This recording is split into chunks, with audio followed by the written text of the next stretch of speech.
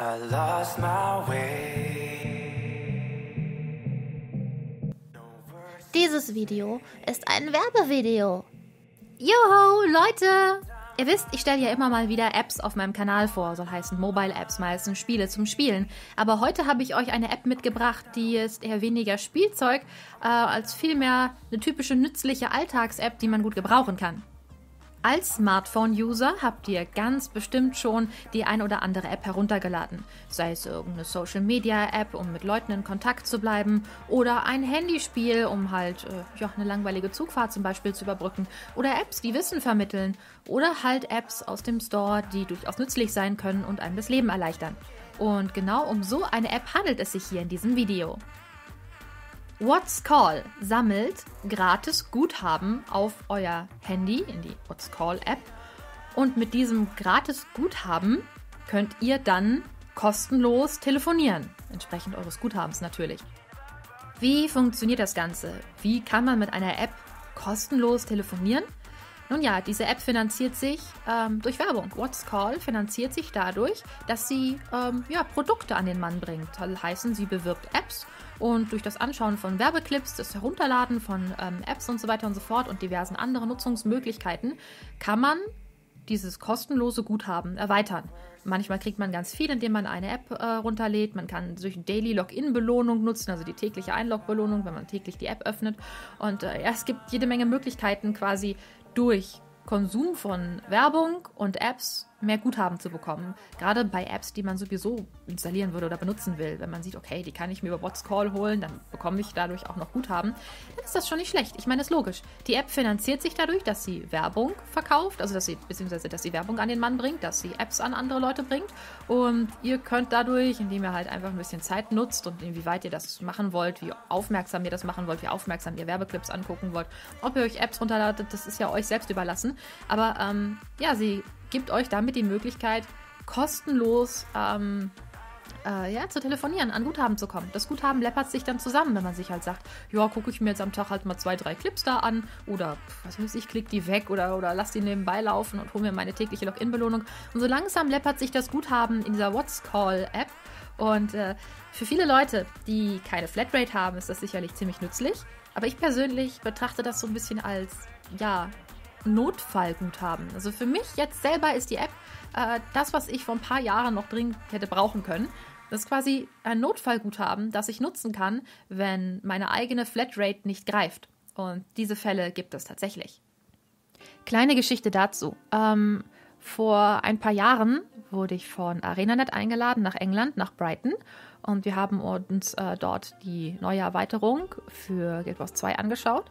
Und ja, da war ich halt mehrere Tage dort in England in einem Hotel, also in Brighton. Das ist ja eine echt süße Stadt am Meer und ist echt schön da. Aber meine Flatrate hat keinen Auslandstarif. Also ich hätte telefonieren können, wenn ich das hätte freischalten lassen. Das hätte aber einiges gekostet und auch der Anruf hätte ziemlich viel gekostet. Und das war auch etwas kompliziert. Ich habe es versucht, um das freizuschalten. Das hat aber nicht funktioniert. Ich habe extra Guthaben draufgeladen, damit ich halt von Brighton aus nach Deutschland telefonieren kann. Das hat alles nicht funktioniert. Und tja, wenn ich What's Call gehabt hätte, hätte ich halt vor dem Urlaub wie blöde Guthaben gesammelt und hätte halt telefonieren können. Und warum will man in manchen Situationen telefonieren? Naja, also wenn ihr jetzt das erste Mal mit dem Flugzeug geflogen seid und ihr seid das erste Mal in England, in Brighton, ähm, ganz allein abends in einem Hotelzimmer. Draußen ist es recht laut, es regnet, es ist nebelig, dann ist es England. Und ähm, ja, ich konnte mit meiner Mutter nur per E-Mail schreiben und das war jetzt nicht so Internettelefonie, das funktioniert halt manchmal auch nicht immer so einfach. Da war jetzt nicht kein, kein großartiges WLAN. Wir hatten jetzt da nicht so die Möglichkeiten, mit total geilem WLAN jetzt irgendwie mal zu skypen oder so. Ich hätte einfach nur gerne mit meiner Mutter geredet. Einfach nur am Abend, und wenn es nur so 30, 40 Sekunden gewesen wären. Einfach dieses, ich bin gut angekommen, es geht mir gut, ähm, hier, alles, hier ist alles in Ordnung und es reicht manchmal einfach die Stimme von jemandem zu hören. Es reicht oft nicht einfach nur zu schreiben. Man, man, das ist so dieser direkte Kontakt. Und ich hätte mir in dem Moment echt gewünscht, dass ich genau so eine App habe, dass ich mit, dass ich ohne mir Gedanken mache, so ein bisschen, okay, ich habe mein Guthaben, das reicht für ein paar Sekunden telefonieren oder eine Minute, je nachdem, wie fleißig ich war, um das Guthaben aufzuladen. Und das wäre schön gewesen. Das ist so der Punkt, wo ich sage, ja, genau dafür werde ich auf diese App Guthaben sammeln. Für so einen Moment. Was ich an dieser App auch noch ziemlich geil finde, ähm, sie ersetzt eine, die ich vorher auf meinem Handy installiert hatte. Und zwar checkt sie die Nummern, die euch anrufen. Ja, also es ist so, euer, den, die Person, die ihr anruft, die braucht diese App nicht. Also das, das funktioniert, das Guthaben hat damit nichts zu tun. Also das ist völlig frei von der App. Allerdings, die App ähm, registriert eingehende Anrufe. Und wenn sie die Nummer im Register findet, dann sagt sie euch sogar, was das für eine Nummer ist und ob es eventuell eine Betrugsnummer ist. Was ich ziemlich geil finde, weil dafür hatte ich extra ähm, eine App da meine Handynummer in Anführungsstrichen recht öffentlich war, weil sie halt geschäftlich viel genutzt ist und ich auch gerne mal Spam-Anrufe erhalte. Und ich habe das heute auch schon ausprobieren können, weil ich habe mich einfach von DHL an mein Paket erinnern lassen, weil ich mal gucken wollte, wie diese App funktioniert. Und da stand dann neben der Nummer die ja für mich unbekannt ist, dann halt einfach in kleinen Klammern DHL. Also, dass es halt die Deutsche Post war. Das fand ich total geil. Also, auch Betrugsnummern, die einen abzocken wollen und sowas werden angezeigt. Das finde ich das finde ich ziemlich geil, weil dafür hatte ich eigentlich extra eine App installiert, um das ansehen zu können. Das brauche ich jetzt nicht mehr, weil das quasi mit inbegriffen ist. So, ich habe euch jetzt die App vorgestellt. Und jetzt wird es Zeit, euch ein Gewinnspiel zu dieser App vorzustellen.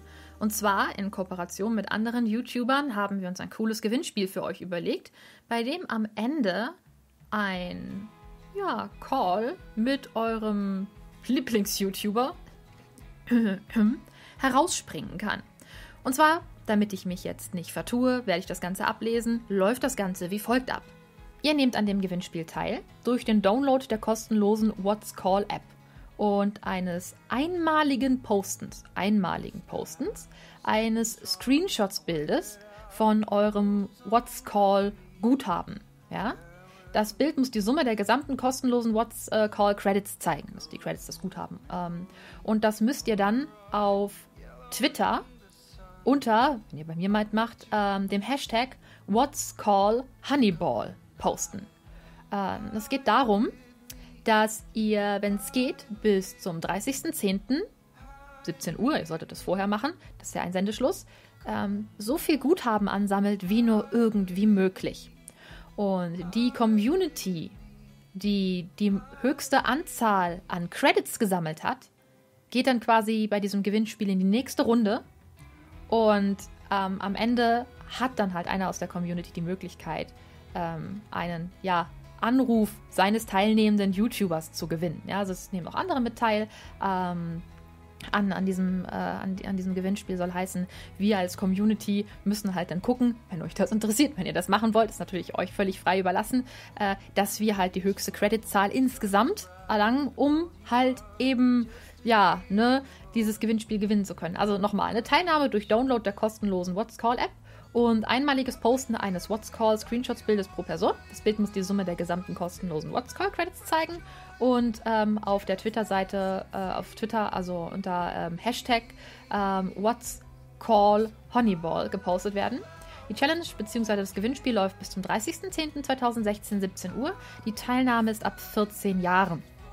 Also ähm, Notfalls muss ich Mama und Papa das für euch machen. Ist ja nicht schlimm. Ja, passiert ja nichts. Äh, die übrigen Teilnahmebedingungen äh, findet ihr einfach auch nochmal bei den Datenschutzbestimmungen von Studio 71. Alles in der Videoschreibung äh, verlinkt. Ähm, aus den vier Communities der vier teilnehmenden YouTuber wird die Community mit äh, der meisten gemeinsam gesammelten What's Call Credits ausgewählt. Der Gewinner wird nach dem 30.10. von Studio 71 ausgewählt und per Antwort-Post informiert.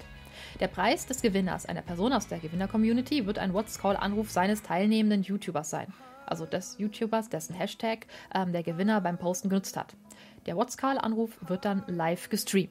Ähm, da kann man sich täglich einloggen. Ja, also ihr habt die Möglichkeit, euch täglich ähm, einzuloggen in, in diese What's Call App und dort eure tägliche Belohnung abzuholen.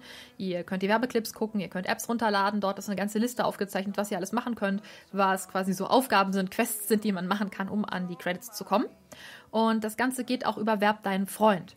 Also ich habe meinen Werb deinen Freund Link in der Videobeschreibung. Über diesen Link werdet ihr, ähm, je nachdem mit welchem Handy ihr das öffnet, ob es ein Android-Phone ist oder ein iOS-Phone, ähm, werdet ihr direkt in euren Store geleitet, entweder in den Apple Store oder halt in den ähm, Google Play Store oder wie das Ding da heißt. Und ihr könnt dort dann über meinen Ref-Link euch die App holen. Ich kriege dafür Guthaben. Voll geil. Aber ansonsten natürlich, wenn ihr halt sagt, ähm, ja, ich möchte jetzt Freunde unterstützen oder sonst irgendwas, dann äh, könnt ihr auch euren eigenen Link erzeugen mit Werb einen Freund oder an eure Kontakte sagen, ey, hier, probier die App doch auch mal aus. Und so wie sich jemand die runtergeladen hat, dementsprechend bekommt ihr dann halt quasi eine Gutschrift. Oh, cool. Also er will gleich, er will gleich, soll ich den neuen Kontakt erstellen? Soll ich zu vorhandenen Kontakten hinzufügen? Oder soll ich eine SMS schicken?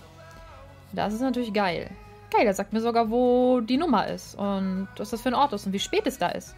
Also er sagt mir, wo das ist, wie spät es da ist. Das ist, das ist voll gut. Es sieht halt einfach auch völlig normal aus, wie jetzt ne, so ein Anrufteil. Das fragt einer nochmal, willst du wirklich anrufen? Und wo das ist und, und äh, was für eine Uhrzeit da ist, das finde ich unglaublich gut. Ich, ich habe gerade eine Minute telefoniert. Ich habe 3240 Gesprächsguthaben und ich habe gerade für diese eine Minute 50 Gesprächsguthaben ausgegeben. Das ist gar nichts. Gar nichts. Das ist mega gut. Ich wünsche euch jetzt viel Spaß bei der Teilnahme am Gewinnspiel, an der Challenge. Und wir werden mal sehen, wie viel wir bis zum 30.10. so zusammenbekommen. Ja? Und ich mag, wie gesagt, nur an meine Geschichte erinnern. Selbst mit Flatrate saß ich in einem fremden Land blöd da und hätte ganz gerne einfach nur ohne Umstände und ohne Probleme telefoniert. Ohne Umstände ist vor allen Dingen das richtige Wort. Es ist so barrierefrei und einfach damit. Okay, Leute. Viel Spaß bei der Challenge. Viel Erfolg. Und äh, ich bin sehr gespannt, wie das Ganze ausgehen wird. Macht's gut. Wissing!